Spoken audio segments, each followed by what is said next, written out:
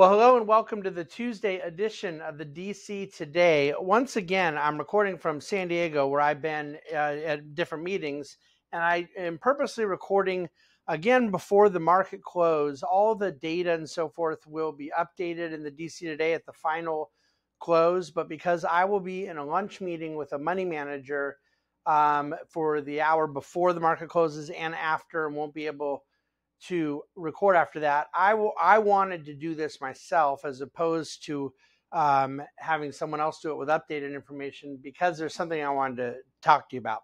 And so, you know, it doesn't happen very often. I think yesterday I said it's only happened twice before, but you know, sometimes the uh, recording with the final updated numbers is really not that big of a deal. Now, truth be told, it's never a big deal because I don't even know anyone else who does this at all and I don't even really know uh, every day why we do it. But I hope you get some information out of it. I hope you find it valuable. I know that a lot of you who started listening to or reading or watching the DC Today back during the COVID days, that the COVID markets uh, missive, if you remember that term, was uh, uh, part of what we were wanting to regularly communicate on. I don't care what the market closes at every day, and none of you really do either, even if you think you do. Uh, but nevertheless, just for consistency and updated data and, and information, it's kind of nice to have that rhythm of the daily numbers of where the Dow and S&P were and the sectors and the bond yields and oil and all those kind of things. But um, the, the qualitative message for today is more important to me than the quantitative closings. And what that qualitative message is has to do with China which um, it's interesting that last night all the buzz was about the economic data coming from China. Futures dropped on the news uh, very early this morning. Futures indicated a down market, and we've kind of run with that here throughout the day. And so there are people saying, you know, it's really surprising. The People's Bank of China announced a surprise rate cut. And I thought rate cuts were excellent. I thought rate cuts were great. And so, why would anyone want to be selling off when the interest rate is going lower? And it was unexpected. So, it wasn't even like it was priced in. And it's their second rate cut, uh, unexpected rate cut this summer. They had another one in June. Pretty, pretty small overall.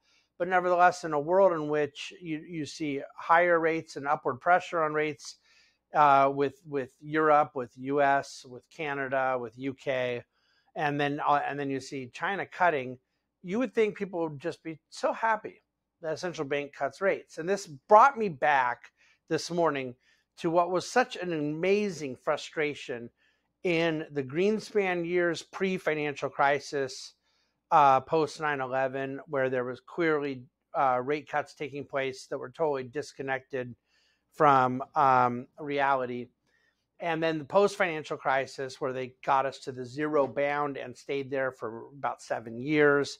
And then of course during the covid moment take away the first few months of kind of insanity and shutdowns but then staying it was basically two calendar years at a 0% federal funds rate. And then you know this natural sort of response from people like well isn't this excellent? Isn't this great? But i just want to remind people of something the central bank is cutting rates because something is bad. Now, right now, if the central bank in the US, the Federal Reserve, were to cut rates, it very possibly would be because they realize that they've overhyped, that they'd be responding to an excess in policy the other way. But China is not cutting rates because things are good, and China is not cutting rates because they want to boost their dot com stocks or or whatnot. It is a byproduct of using monetary policy to offset something they believe is bad.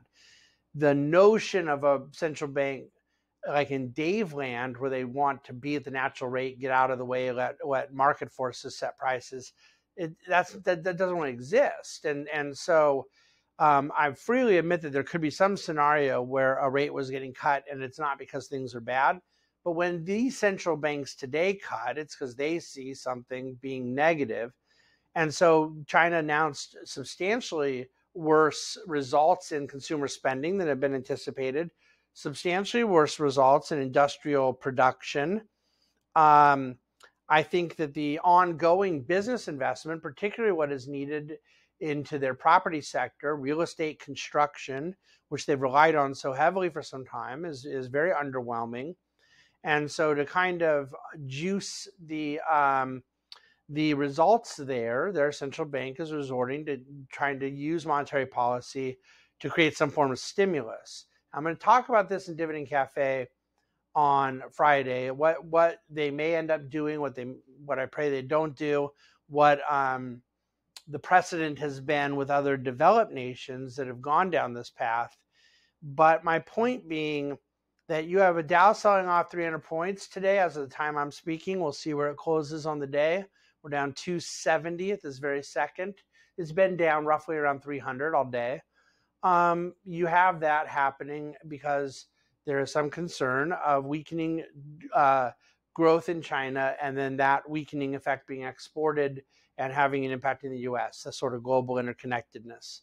And I, I don't think that people should view rate cuts as initially or instinctively a good thing.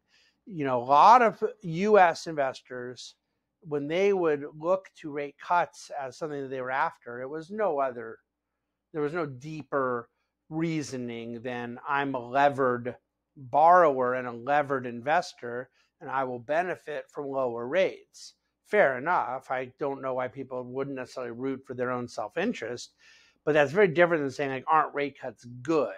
You know, when they're cutting rates because demand is weakening, because there's no incentive for production, where business investment is tailed off, productivity is tailed off, and they're trying to to um, help the weakening patient by giving them a little bit of of juice in the form of rate cuts you could hopefully see why that's not like a great thing.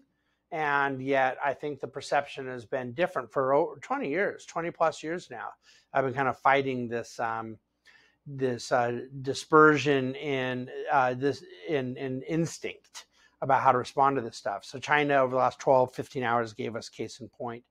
Uh, Fitch also warned today that they're looking at a few credit downgrades on banks.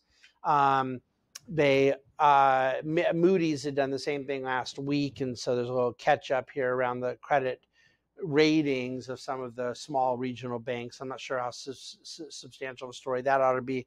In economic data, core retail sales were up one percent year over. Oh, excuse me, in the month of July, and that was double what had been uh, estimated. Online shopping, by the way, is up 12 percent year over year um, in the U.S the negative data point today was the NAHB home builder survey. Uh, it come down to 50. It was expected to be quite a bit higher, and you had four, five, six percent drop between the uh, prospective buyers traffic, future view, and present situation. Different ratings that take place in this home builder survey, and each of those categories saw somewhere between a four and a six percent decline. So there's, you know, kind of a little renewed anxiety about where we stand with the home builders. Uh, all the final closing updated numbers of the dctoday.com as well as the Ask David, where someone had a very thoughtful question about an individual treasury bond versus a portfolio of bonds or a managed fund of bonds and what the different reasoning is around that. It might be worth your read. So I'm going to leave it there, get to my meeting, and I really do appreciate you reading watching and listening to DC today. Brian Szytel will be back uh, with you tomorrow, Wednesday, and Thursday. I'll be with you in the Dividend Cafe on Friday, um, but I will be out the next two days taking my son to college. That's my plan. Uh, that is all I have to say in the DC today.